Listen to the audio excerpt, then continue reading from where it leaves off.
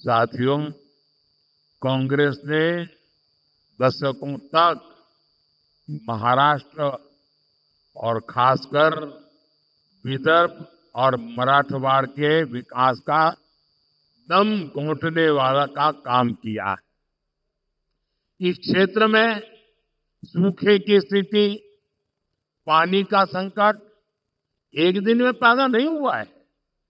कांग्रेस के रवैये के कारण यहाँ किसान गरीब होते गए, जहाँ उद्योगों से जुड़ी संभावनाएँ सूखती चली गई।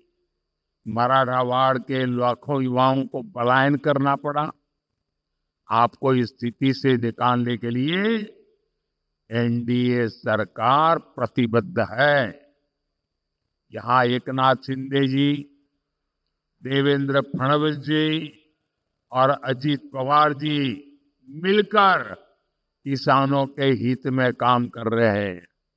साथियों, कांग्रेस के दिए हर जख्म का इलाज करना, ये मोदी की गारंटी है।